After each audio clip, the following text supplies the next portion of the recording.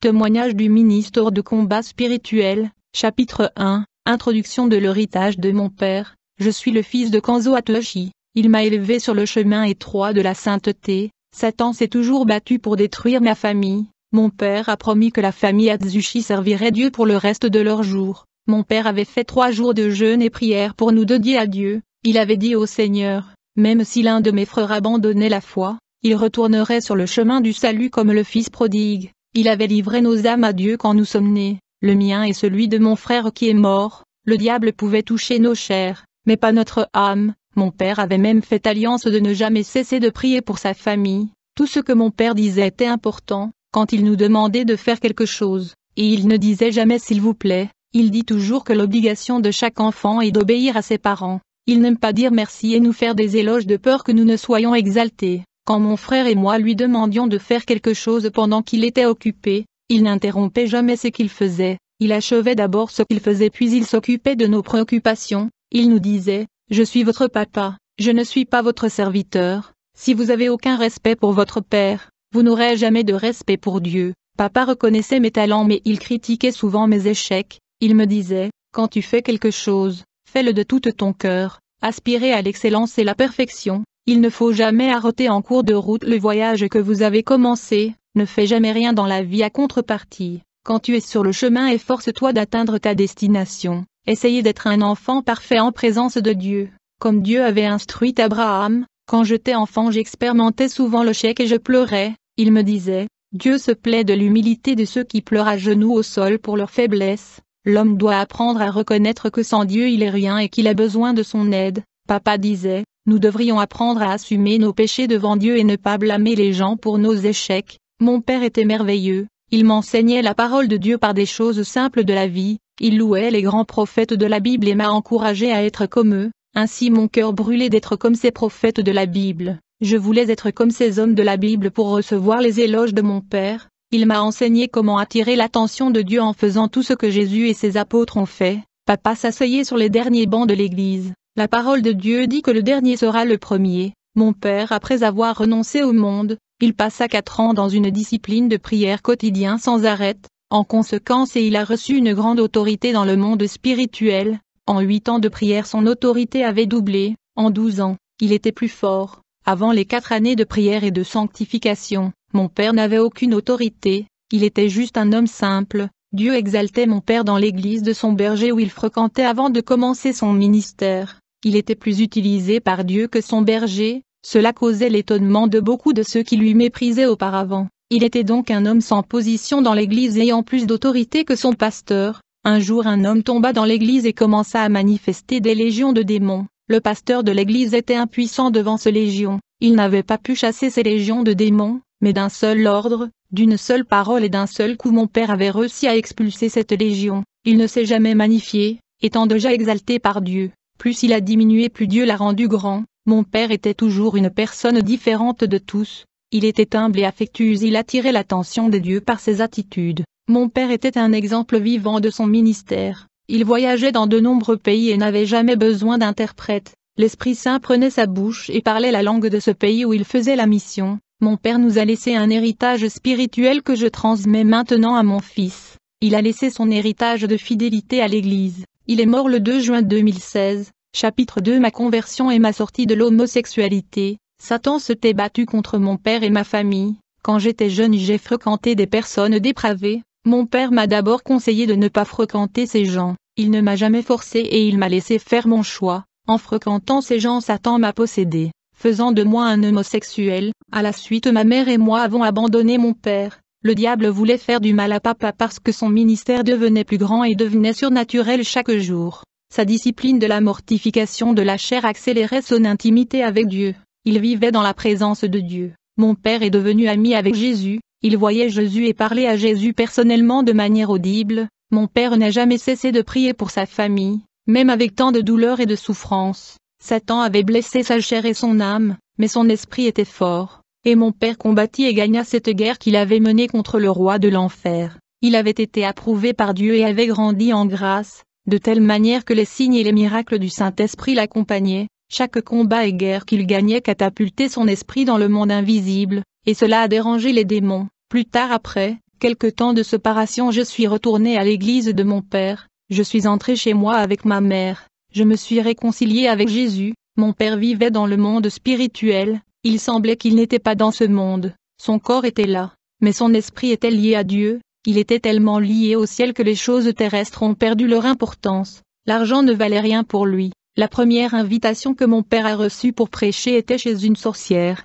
Les démons dérangeaient cette femme, qui avait appelé plusieurs pasteurs pour prier pour elle. Mon père était le seul à accepter de prier pour elle. Cette femme a vu ce jour-là la puissance de Dieu et a abandonné sa vie au Seigneur en devenant membre de son Église. Mon père me disait, vous devez arrêter de dépendre de moi, je vais mourir et le même esprit qui est en moi continuera avec toi. Mon père était courageux contre le démon, il savait qui était son grand ennemi. Quand les gens le combattaient, il priait pour ces gens, il était gentil, il se levait à l'aube dans la prière pour le peuple, il ressemblait au prophète Jérémie, il ne laisse pas passer un jour sans lire la Bible et prier. Ainsi, ma communication avec Jésus est la base de notre relation. La communication et la prière, parler à Jésus est comme une rencontre spirituelle du marié avec sa femme, c'est par cette relation basée sur la prière que naît l'amour qui grandit et que la flamme de la communion augmente. Quand j'ai commencé à communiquer avec Jésus, j'ai senti son amour et sa jalousie pour mon âme. Il ne voulait plus perdre mon âme pour le diable.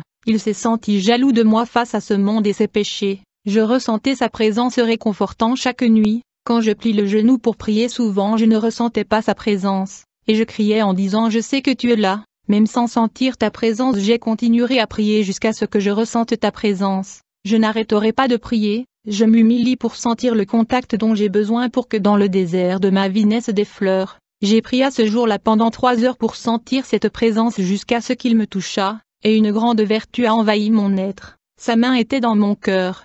J'ai senti la chaleur surnaturelle dans mon âme. Mon père est mort en demandant à l'Église de ne pas cesser de prêcher la vérité, c'était sa plus grande préoccupation. Avant sa mort quand il était vieux, il recevait de l'aide et l'assistance des anges à cause de son âge, Chapitre 3 Ma délivrance de l'emprise de Satan. Quand je me suis réconcilié avec Jésus et je venais de retourner à l'église de mon Père, j'ai demandé des dons du Saint-Esprit pour être utilisé par Dieu mais il n'y avait rien. En plus j'avais beaucoup de démons. Je cherchais la délivrance car j'avais des légions de démons. Mon père n'était pas dans l'église pour résoudre mes problèmes démoniaques, il avait voyagé en mission évangélique, mais je devais me libérer de ces démons en luttant seul, en priant et en jeûnant. Pendant la prière j'ai eu une vision, et dans ce vision je me voyais debout comme une statue et Jésus passa sa main au milieu de ma poitrine et sortit les démons de mon corps et leur ordonna de ne plus revenir, et donc dans ce vision Jésus a mis sa main au milieu de ma poitrine, et a sorti les démons de mon corps et leur a donné l'ordre de ne pas revenir. J'ai vu Jésus tirer une cinquantaine de démons de mon corps, il a tiré de moi cinquante autres démoniaques qui étaient le dernier des deux cents démons qui étaient en moi. Dans ce vision je n'ai pas vu le visage de Jésus à cause de la luminosité de son visage. Je ne pouvais voir que son corps, il me dit, ces démons hôtes sont les derniers habitants de cette maison. Quand vous êtes arrivé dans l'église, ils étaient une légion et maintenant ils ne sont qu'une cinquante, mais ils ne sont plus. C'était une victoire. Je me souviens alors que ces démons étaient dans mon corps. J'étais perturbé. J'avais des cauchemars, des insomnies, je ressentais le besoin de me tuer, même les désirs d'être homosexuel étaient forts. Dans ce vision, les démons étaient assis à différents endroits dans mon corps. L'un avait sa chaise dans la tête, l'autre était dans mon cœur, d'autres étaient sur mes genoux, autres étaient dans le canel, le cuisse, le bras, le main, le dos, le ventre, autres démons étaient assis dans ma partie génitale, ils me donnaient de désir pour les femmes, je demande pardon aux frères d'avoir parlé de cette façon, c'était la manière la plus décente que je pouvais expliquer ceci, il y avait des démons à l'intérieur de moi, j'ai vu leur trône comme très loin dans cette vision. Les démons habitaient dans mon corps et dans mon âme. Jésus m'a purifié de tout ceci, il les a détrônés et a mis fin à leur fête dans ma vie. Après ce rêve, j'ai passé une année à traverser les processus de délivrance. Il y a des gens qui ont rompu avec le péché hier et veulent avoir une relation spirituelle avec Dieu aujourd'hui. Pourtant ils ne sont pas complètement libres. Si je n'avais pas sombré dans la prostitution et si j'avais obéi à mon Père, je ne serais pas dans l'obligation de passer un long processus de délivrance. Si vous êtes dans la voie de Jésus, ne retournez pas dans le monde de peur que votre vie spirituelle devienne la demeure des démons. Chapitre 4 Ma purification. Un an après ma libération, j'ai commencé à demander les dons du Saint-Esprit, mais je ne les ai pas reçus. Jésus m'a apparu dans un rêve comme l'autre fois. Son visage brillait. Il dit, Viens avec moi, suis-moi. Je l'ai accompagné jusqu'à la porte d'une fournaise de feu, et puis il me dit, passe à travers cette fournaise de purification jusqu'au bout, et vous serez épuré et complètement purifié. J'ai dit au Seigneur, je ne veux pas, j'ai peur de mourir. Il me dit, quel est votre choix? Vous devez choisir le mode de purification. Il y a la purification par le feu pour votre salut. Il y a également la purification par le feu de l'enfer pour la condamnation. Mais cependant en enfer le feu va brûler tes péchés pour toujours. Au bout du compte tu n'auras jamais de rédemption et le salut. J'avais donc le choix devant moi, entre le baptême de feu pour la purification, ou le feu de l'enfer pour la condamnation, comme je ne voulais pas le feu de l'enfer. Je suis entré dans cette fournaise de purification pour le salut. J'ai senti une chaleur qui brûlait ma chair. Comme résultat, les vers qui étaient en moi qui étaient à vrai dire les péchés sont tombés au sol. Aucun cheveu de ma tête a été endommagé par ce fourneuse. Mon corps avait de sensations des douleurs de la brûlure. Quand les vers qui étaient en moi qui étaient de péché avaient tombé au sol je ne ressentais plus la douleur. Puis je suis arrivé au bout de cette fournaise sans ressentir la douleur comme Jésus a dit. Le Seigneur Jésus me dit, cette douleur que vous avez ressentie pendant la traversée de la fourneuse était due au ver de péché qui était en vous, le feu ne vous a pas brûlé. En vérité le feu brûlait le mal et le péché qui était en toi, qui sont ces vers qui sont tombés? Étant donné que le péché était lié à ta vie spirituelle, ton âme a dû sentir les douleurs du feu qui détruisait le péché en toi. Maintenant que le mal n'est plus lié à ton âme, la fournaise ne te causera pas de douleur. À partir de paroles de Jésus, j'ai commencé à comprendre que le feu de l'enfer affecte directement les péchés qui sont dans les âmes des gens qui sont là-bas, les péchés que les gens portent en eux quand ils meurent, et la vraie raison qui fait qu'ils ressentent la douleur. Comme ces âmes sont mortes avec le péché, elles ressentent des douleurs profondes, car le feu de l'enfer se nourrit du péché enraciné dans l'âme des âmes damnées. C'est comme si le feu de l'enfer se nourrit du carburant qui est le péché et mal qui est dans leur âme. Ce péché sont comme du combustible du feu de l'enfer. Jésus me dit, un homme qui est libéré de l'emprise du péché ne sera jamais brûlé par les flammes de l'enfer. Même s'il est jeté en enfer il ne sentira jamais le douleur, car le feu de l'enfer brûle le péché qui est dans l'âme de l'homme, raison pour laquelle les gens ressentent la douleur. Après ce rêve, j'ai compris ce qui m'avait arrivé quelques jours plus tard. Chapitre 5 La sanctification. Alors que je persévérais dans la prière en train de rechercher les dons spirituels pour mieux servir le Seigneur, soudain, le Seigneur Jésus m'est apparu dans une vision. Dans cette vision je portais une robe blanche avec des taches noires éparpillées autour de cette robe. Jésus a pris une bouteille contenant de l'huile et a commencé à passer l'huile sur mes vêtements. Ces taches noires ne se sont pas effacées, ils sont devenus des nuances de taches plus légères, puis le noir devint brun, puis il devint beige et Jésus continua de jeter cette huile sur ma robe, qui alla de beige à blanc, cette huile avait l'effet de chlore. Jésus me dit, maintenant que tes vêtements sont propres, Fais attention de ne pas te salir. Ma fiancée que je veux enlever doit avoir la robe blanche. Malgré ma délivrance, j'avais encore des blessures et des péchés cachés que je n'avais pas avoués. Je jeûnais, je me suis humilié en priant pour oublier ces péchés. Je devais libérer le pardon à tous ceux qui m'avaient fait mal quand j'étais prostituée. C'était la dernière purification que j'avais subie.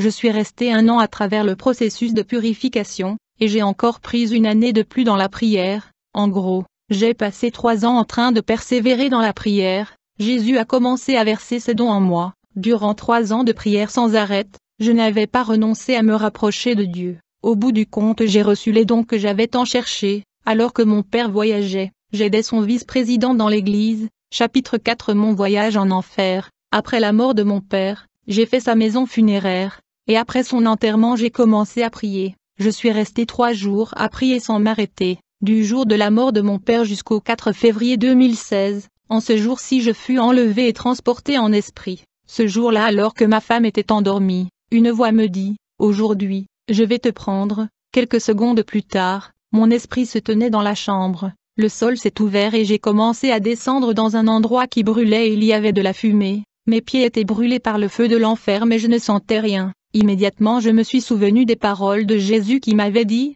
les flammes ne peuvent pas consumer ceux qui sont libres du péché. En enfer je transpirais car l'endroit était très chaud, je pouvais sentir l'odeur de chair brûlée et de l'huile bouillante. J'ai commencé à marcher, la grâce de Dieu m'a couvert, et j'ai voyé les démons passer, mais ils ne me voyaient pas, j'ai été surpris par le mouvement des démons et j'ai décidé de les suivre. J'ai vu des démons de différents types, des démons qui avaient des ailes, et de démons sans ailes, en enfer il y avait des démons avec deux têtes, de démons à trois mètres, des démons ayant des visages des animaux comme des tigres, des chiens, des oiseaux, j'ai vu de démons en forme de crocodile, d'autres démons avaient des écailles de poisson, je les ai suivis là où ils allaient dans leur réunion où ils étaient réunis, ils étaient réunis en réunion, un être obscur était assis au milieu de la multitude de démons, il leur dit, Allez fait-on.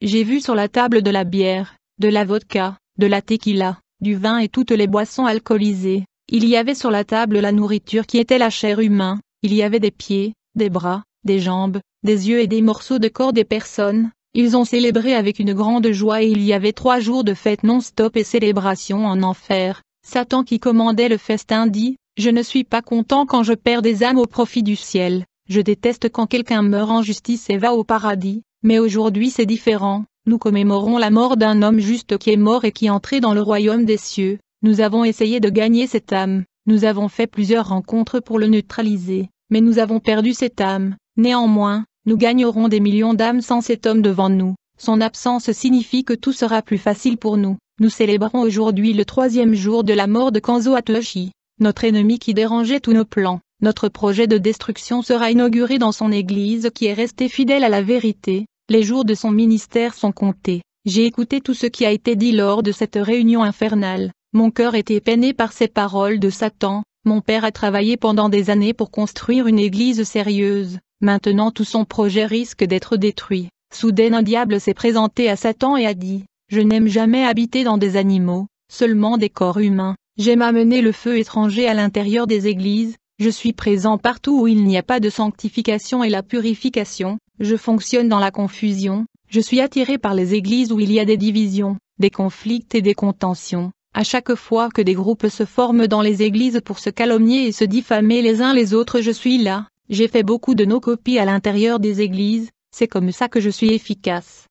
Satan lui dit, Bon travail, le suivant. Un autre démon se leva et dit, Je suis avec une légion qui habite plusieurs croyants, nous mettons des flammes à l'intérieur d'eux pour les tromper. Ils pensent que nos flammes sont l'Esprit Saint, beaucoup sont déjà spirituellement malades, nous laissons la place de travailler dans leur vie, nous entrons dans divers domaines de leur vie personnelle par la possession, causant la mort spirituelle, en conséquence, ils ne ressentent plus jamais la présence de leur Dieu, péché est devenu acceptable pour eux, ils ne se repentent plus de leurs mauvaises actions, ils n'ont plus le cœur brisé pour pleurer en présence de Dieu à cause de leurs fautes, aussi longtemps que nous habiterons en eux nous garderons leur cœur dur comme des pierres, par la fausseté et la fausse doctrine des démons nous les dominons, quiconque est exposé à notre enseignement, quiconque ouvrira son cœur à notre enseignement, nous entrerons dans son cœur par la parole qu'il a reçue. C'est ainsi qu'ils reçoivent la semence contaminée qui est plantée dans leur cœur. Quiconque reçoit notre parole et notre doctrine a également reçu le propriétaire de cette doctrine que nous sommes.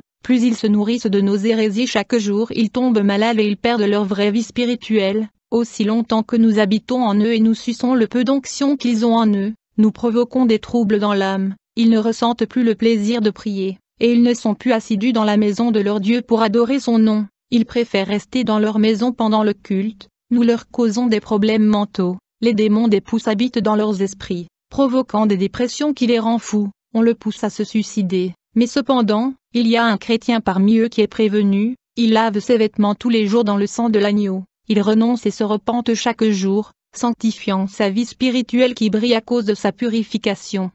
Il n'écoute pas notre enseignement, mais nous allons essayer de le convaincre de croire à nos fausses doctrines, il a combattu nos hérésies dans l'Église et beaucoup de victimes de la maladie spirituelle résultant de notre théologie ont été guéries spirituellement. En tant que disciples de Jésus, leurs âmes ont été restaurées grâce à la vérité qui génère la vie en eux. Ce chrétien est un problème pour nous. Il ne passe pas un jour sans qu'il soit en train de prier et lire la Bible. Il lit toujours la parole et se sanctifie lui-même. Il ne boit pas de nos sources doctrinales sales, qui corrompent les autels. Ceux qui ont bu de notre doctrine sont déjà possédés et ils sont habités par nos esprits. Ainsi, un pasteur à la surface a 90 démons vivant en lui. En un an nous avons amené le nombre à 200 qui habitent en lui. Il est maintenant faible, il ne peut pas diriger le troupeau, il est devenu matérialiste, nous contrôlons déjà toute sa vie, son contact avec les faux prophètes lui a rendu faible. Chapitre 5 Le voyage vers le ciel, une fois que ces rassemblements de démons prit fin, puis nous avons quitté,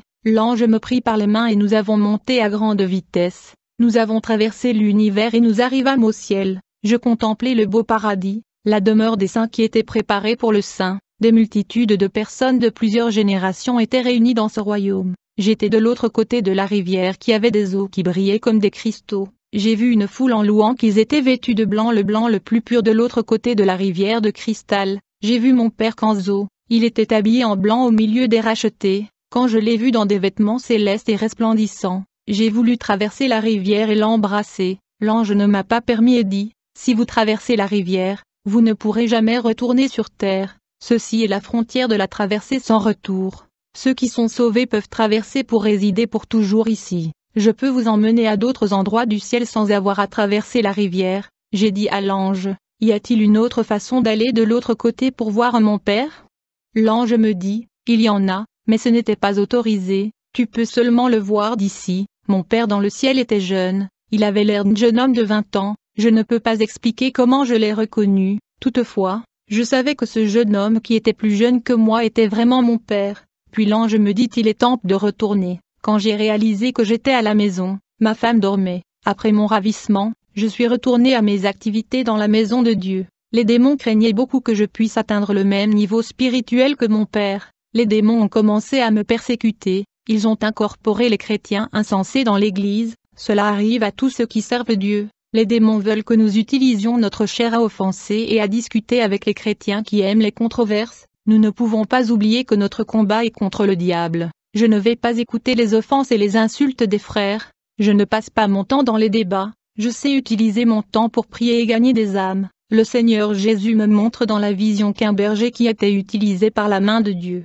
Cet homme de Dieu baissa la garde et ouvra une porte d'entrée au diable. Un esprit entra en lui et le posséda et contrôla sa vie. Ce démon installé en lui a parvenu à tarir l'amour de Dieu, et le fruit de l'esprit comme la paix, la joie, la bonté, la douceur, la tempérance et la foi, tous les fruits de l'esprit qu'il a eus dans sa vie ont été emportés par ce nouvel habitant de son corps. Chapitre 6 Le début de la guerre. J'ai commencé mon ministère dans le pays de Hongrie, où j'ai inauguré mon premier ministère. Dieu a commencé à me bénir dans la partie financière. Dieu a touché le cœur d'un homme riche nommé Joseph, il a fait un don en argent pour que j'achète ma maison. Avant cela, ma femme et moi vivions dans le loyer. Alléluia. Le grand Dieu qui vient avec sa providence dans la vie de celui qu'il aime. Dieu a utilisé un autre homme appelé Miklo, qui a acheté une nouvelle voiture et me l'a donnée en cadeau. Lorsque nous recherchons la présence de ce Dieu très haut, tout sur la terre coopère pour notre bien. La gloire à Dieu. Cherchez d'abord le royaume et toutes les autres choses seront ajoutées vous qui recherchez une bénédiction.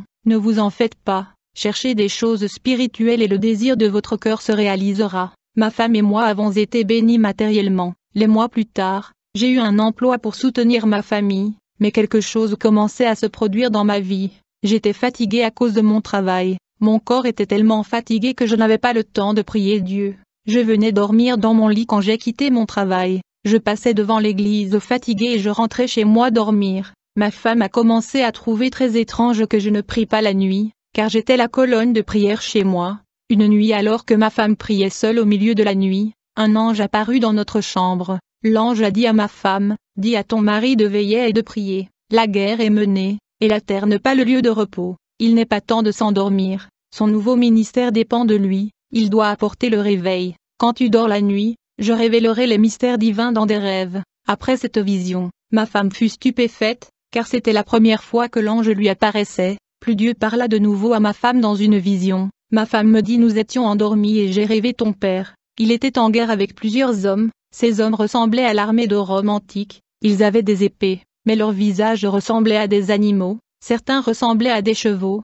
d'autres à des chèvres et d'autres au visage de serpents et de crocodiles, seuls leur corps étaient des hommes, mais ils étaient des monstres. Ces hommes animaux se battaient contre d'autres guerriers de sabre. Les guerriers qui combattaient ces hommes monstres étaient communs, L'un de ces hommes qui combattait ces hommes animaux était ton père, il se battait de toutes ses forces, il était tout blessé, mais il n'a pas lâché l'épée et le bouclier de ses mains, jusqu'à ce qu'il cesse de se battre et dit, J'ai combattu le bon combat, je suis un pèlerin sur cette terre, je suis un étranger ici, j'ai maintenant vers ma patrie le ciel, mon roi m'appelle, il y a ma place qui est préparée. Quand il a dit cela, alors il a enlevé son manteau de son dos, et l'a jeté par terre, Soudain un vent tourbillonnant enveloppa mon beau-père, et le souleva au ciel. Du coup j'ai entendu une voix de tonnerre au ciel qui dit, Qui portera ce manteau, qui va assumer la grande responsabilité, l'homme qui portera cette cape, je le fortifierai avec une puissante onction qui ne vient pas de l'homme mais directement de moi. cet homme recevra l'onction qui vient de ma source.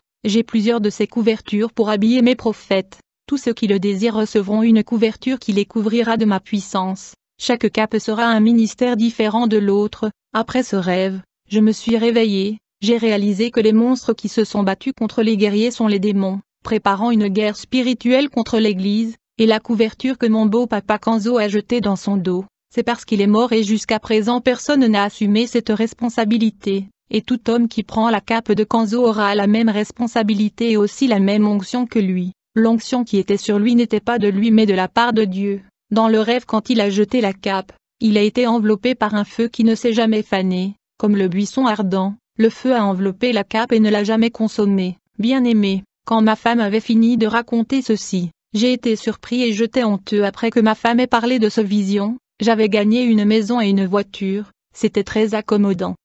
Parfois, trop de bénédictions vous incitent à vous détendre et à ne plus prier. Après que mon épouse ait raconté ce rêve, quand c'était la nuit, j'ai senti un fardeau sur mon corps, quelque chose essayant de m'étouffer. J'ai crié à Jésus dans mon cœur parce que ma bouche était scellée. Le jour suivant je suis tombée malade, je ne pouvais pas bouger, j'ai été hospitalisée pendant quelques jours. Leslie, l'amie de mon père, était venue me rendre visite. Elle n'était plus un disciple, ce petit bébé spirituel dont mon père s'occupait aidait à marcher. Mon père a beaucoup dirigé son frère Leslie, qui aimait apprendre et était toujours à ses côtés. Il était le plus faible des membres qui suivaient mon père dans ses missions, mais maintenant il était devenu un grand homme de Dieu. Il a eu beaucoup de peine à s'affirmer dans la sainte doctrine en ayant son lien avec le monde. Après avoir rompu avec le monde pour une fois, son ministère a grandi, il n'était plus un enfant dans la foi, maintenant, il est un homme mûr spirituellement, le charnel Leslie est mort pour naître un nouvel homme spirituel, ils ont tous dit qu'ils ne pouvaient que s'affirmer sous l'ombre de mon père, et quand Kanzo est décédé, ils ont tous dit, que deviendrait le frère Leslie? La mort de mon père, a appris à Leslie à marcher seul, il a grandi spirituellement, un homme plein de grâce et de pouvoir de Dieu. Il est venu me rendre visite et a apporté une formidable révélation de Dieu. Leslie a dit, Ainsi dit le Seigneur, ces maladies qui sont dans ton corps sont des fléchettes maléfiques. Il me dit, le Seigneur m'a montré un démon jetant de nombreuses flèches d'infirmité dans ta chair. Leslie a placé ses mains sur ma tête dans cet hôpital et a prié pour moi. Toutes les douleurs de mon corps ont disparu. Les médecins m'ont donné beaucoup de médicaments injectables et la douleur ne s'est pas calmée. Mais grâce à la prière de Leslie, les maladies avaient disparu. Puis il est parti et est retourné dans son pays. Un jour le soir quand je suis entré chez moi, un démon m'a apparu avec un fouet et il m'a donné un coup de fouet, qui a laissé une coupure sur mon corps. Il m'a dit qu'il me détestait, il me donna l'ordre de fermer l'église que j'ai ouverte. Ce diable me dit, seules les églises qui prêchent mon évangile seront ouvertes. Je ne veux pas des églises spirituelles, pourquoi vous insistez pour prêcher la vérité sur ce territoire? Vous n'êtes pas votre Père pour résister à toutes les pressions que nous allons mettre sur vos épaules. Ne suivez pas le chemin de votre Père qui veut sauver le monde. Si vous continuez d'insister pour porter la parole sacrée, votre vie sera un cas. J'ai dit pourquoi tu as laissé les démons me frapper? Jésus me dit, Robert, vous devez prier, vous allez sortir de la zone de confort et vous allez combattre comme votre Père quand il était sur la terre. Si tu ne te réveilles pas, je laisserai les démons vous affliger, ils vont vous bombarder avec leurs fléchettes diaboliques, à vrai dire ils veulent vous tuer, car vous êtes une menace pour leur plan, vous êtes en guerre. Il n'y a pas d'échappatoire, je t'ai donné un ministère de guerre spirituelle, si vous arrêtez de prier, vous serez malade, car la guerre est déclarée contre votre vie, vous allez gagner cette guerre à genoux. Quelques jours plus tard la nuit, allô que je pria avec ma femme pendant trente minutes comme cela coutume. En fait on avait fini de prier mais nous avons quand même continué à prier, jusqu'à ce que j'ai vu une légion de démons autour de notre maison. Une partie de cette légion se trouvait du côté gauche et l'autre partie du côté droit. J'ai demandé à ma femme si elle voyait ces démons. Elle me dit non elle ne le voyait pas, et nous avons continué à prier tranquillement. J'étais terrifié de voir autant de démons contre nous deux. Du coup une voix me dit, mille tomberont à tes côtés, dix mille à ta droite mais tu ne seras pas atteint. Ces légions de démons ont disparu. Puis un de mes amis évangélistes m'a invité à l'une de ses campagnes de libération. Il m'a expliqué comment la délivrance fonctionnait, quand je suis arrivé à son église, après la prédication, il a prié pour la délivrance de gens en posant les mains sur chaque personne, il ordonna aux démons de sortir. J'ai vu beaucoup de démons manipuler les ministères de délivrance, en effet les démons sortaient du corps des gens quand les ministres posaient les mains sur le gens, puis j'ai vu ces démons retourner dans les corps des gens quelques secondes après avoir quitté, J'ai prié Dieu et j'ai demandé une explication à propos de ceci. L'Esprit Saint m'a révélé que l'évangéliste était dans le péché avec sa femme, les deux pratiquaient le sexe en utilisant des produits en plastique érotique, et Dieu n'aime pas cela. Le Seigneur m'a montré une tenue de fantaisie sexuelle qu'ils avaient achetée, il avait acheté un string à Tarzan et pour son épouse une tenue de femme de chat. Je lui ai dit que les démons le trompaient. L'évangéliste ne croyait pas, je lui ai raconté ses fantasmes érotiques, il était gêné, il a accepté la révélation et a dit qu'il abandonnerait les pratiques. Je suis allé dans un autre ministère, le groupe de jeunes était en train de louer le Seigneur. Je pouvais voir que leurs louanges ne dépassaient presque pas le plafond de l'église. Ces louanges étaient retenues dans les airs. J'ai demandé à l'Esprit pourquoi cela? Il me dit que tout le groupe de jeunes s'est prostitué avec les personnes qui ont marqué la réunion alors que deux de ces jeunes, une fille et un garçon chantaient. Un serpent noir sortait de la bouche du garçon et un autre de la bouche de la fille. J'ai demandé la pensée de Dieu à propos de cette vision. Il me dit que les deux jeunes chrétiens pratiquaient le sexe oral dans leur cours. Les deux serpents que j'ai vus étaient les démons qui sortaient de leur bouche, mais ces serpents ne sont pas partis complètement, c'était juste une partie du serpent qui sortait de leur bouche. Ces jeunes étaient possédés, avec le don de la vision que j'ai reçue. Je pouvais voir tout ce qui se passait de l'autre côté dans la sphère, le prédicateur a commencé à prêcher la parole de Dieu, sa prédication était belle avec un langage éloquent, un sermon bien élaboré avec une grande prédication, mais dans la vision, j'ai vu une multitude de personnes avec les mains enchaînées qui sont en train de l'écouter, mais cependant, les paroles qui sortent de la bouche du prédicateur sont tout tombées au sol, comme des gouttes de pluie, sa prédication n'avait libéré personne, les chaînes ont continué à tenir les mains de ces personnes qui le coûtaient, les paroles ne touchaient pas le cœur des gens, sa prédication était vide sans onction. J'ai dit au Seigneur, ce quoi ceci? Il me dit, il murmure contre moi, il parle de mal de ses frères et se dispute sur de doctrines, cela a provoqué des divisions et des groupes formés au sein de l'Église. Le Seigneur m'a montré dans une vision, ce prédicateur dans le couloir de l'Église, il n'était pas seul, il avait des femmes et des frères avec lui parlant mal des prédicateurs, il chuchotait à propos de ceux qui ne savaient pas prêcher et le type de vêtements que certaines personnes portaient. J'étais avec Jésus, il me montra une église de 50 ans, au début de cette église, 95% des croyants avaient été sauvés. Comment je savais? Jésus m'a montré les vêtements spirituels de chaque chrétien, ils étaient blancs comme la neige. Dix ans ont passé et le nombre de personnes sauvées est tombé à 90% des personnes en robe blanche. Vingt ans après la fondation de cette église, le nombre de personnes sauvées est tombé à 80%. 30 ans plus tard, les sauvés étaient 65% et le reste avait leur robe tachée, jusqu'à ce qu'il n'y avait que 20% des gens ayant la robe blanche. Les mauvaises herbes continuaient à augmenter de manière surprenante à mesure que le blé diminue. Jésus dit, la modernité, la vanité et la technologie ont grandement contribué à la chute de la foi de beaucoup. Jésus me dit, mon serviteur doit nourrir mon peuple s'il m'aime vraiment, c'est pourquoi je vous ai choisi. Vous allez préparer mon peuple à me rencontrer, en ce beau jour glorieux qui vient, tu dois préparer mon épouse. J'ai élevé des hommes spirituels aux quatre coins du monde qui souffrent maintenant pour mon travail, lorsque votre père a quitté la terre.